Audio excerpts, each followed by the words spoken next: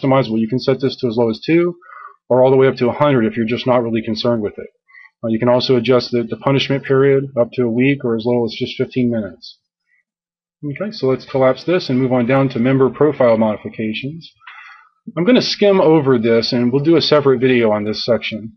Um, but just to give you a kind of a brief overview, this is providing you as a site owner with a way, and I recommend this option, number three, which is an iframe, which embeds a special form into any post page. You just copy this and paste it into a poster page, and this will put up a form.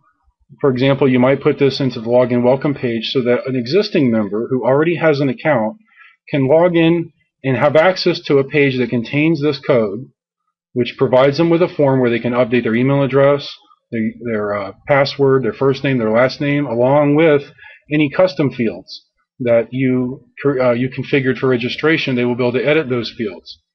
So this is this is very powerful, and I recommend this method. One either this one uh, or number three, because we have plans to extend this in the future and make this even more powerful.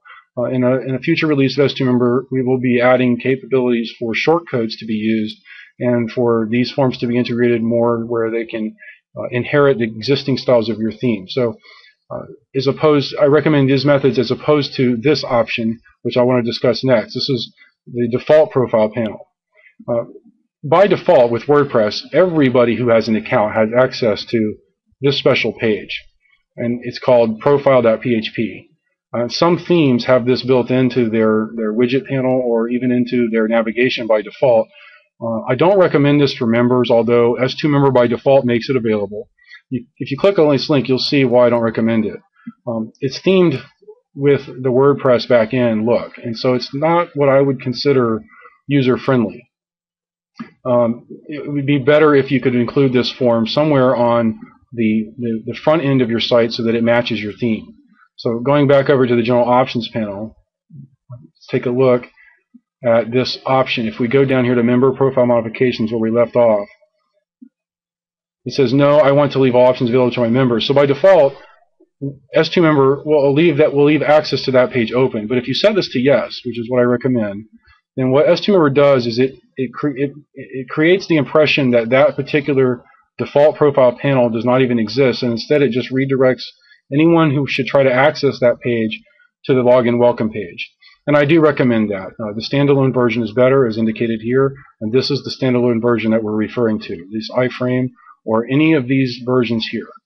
Uh, this is discussed in more detail here, and also uh, we'll do a separate video on how to how to, how to integrate this uh, into your WordPress uh, pages or into a post.